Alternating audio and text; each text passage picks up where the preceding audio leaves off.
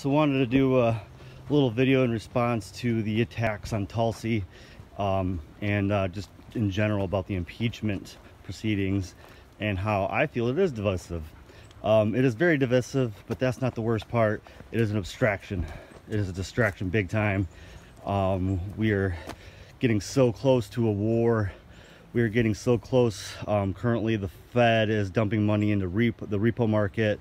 Um, a lot of banks are putting their money into uh, into into buying up uh, food stamp shares. So um, if the banks are looking at food stamps and the Fed's looking at repo, we are definitely close to a crash.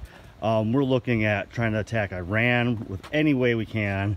Um, this whole gas thing was obvious, like this, they're trying to raise the gas prices and get us upset about people attacking Saudi Arabia. So we need to go to war with Iran because they're attacking Saudi Arabia.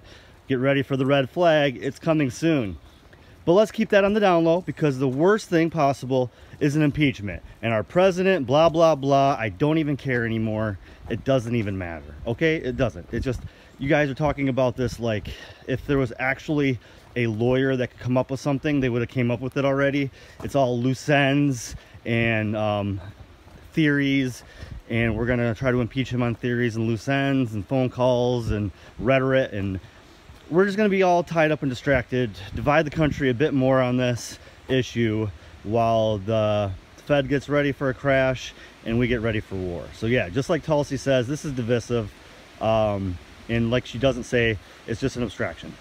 And like my dog's about to say right here, I think we should just piss on it. Let's find something and piss on it because this is not what we need to be doing right now. We need to be uh, telling our government that they don't, they do not need to go into war and they need to stabilize their economy, not uh, impeach president.